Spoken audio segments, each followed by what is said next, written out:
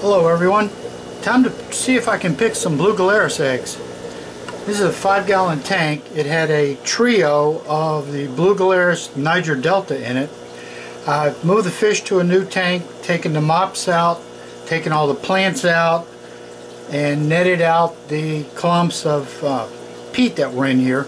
So now I'm down to half a tank of water, the sand gravel mixture, and hopefully some eggs. So we're going to be doing the old figure eight routine here and see if we can come up with some eggs. So just a quick figure eight. Get your hand underneath real quick. And now to see if I can show you. There's an egg right there on the end of my by my finger.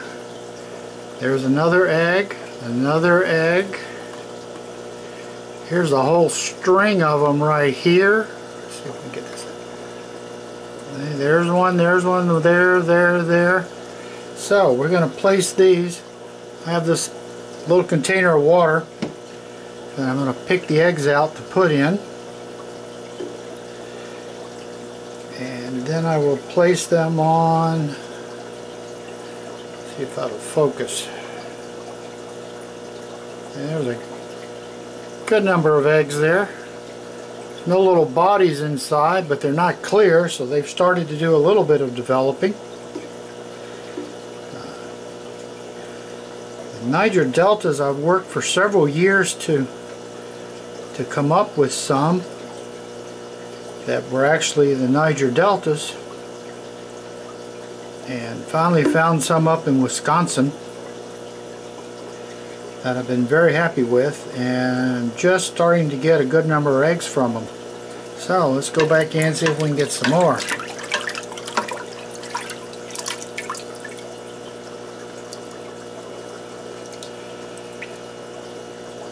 And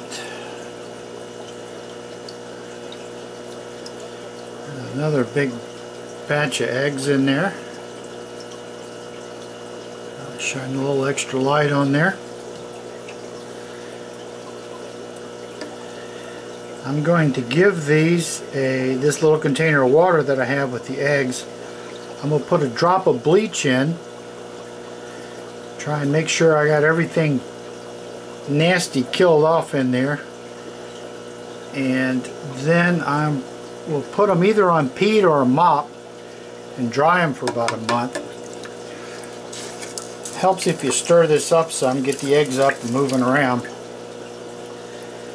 then do a fresh batch of figure eights. Oh yes.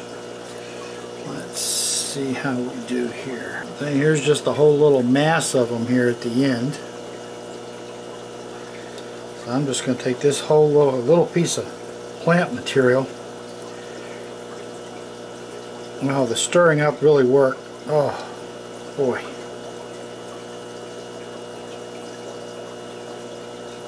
Got to be 10 eggs there.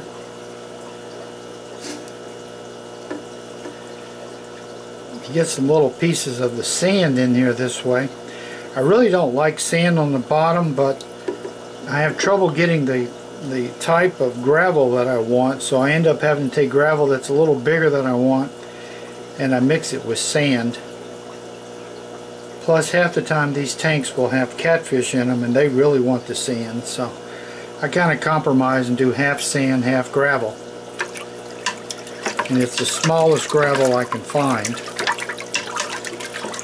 It always has to be some kind of like river rock out of Alabama, I think, is always the good stuff that I find. Never found it in a PetSmart.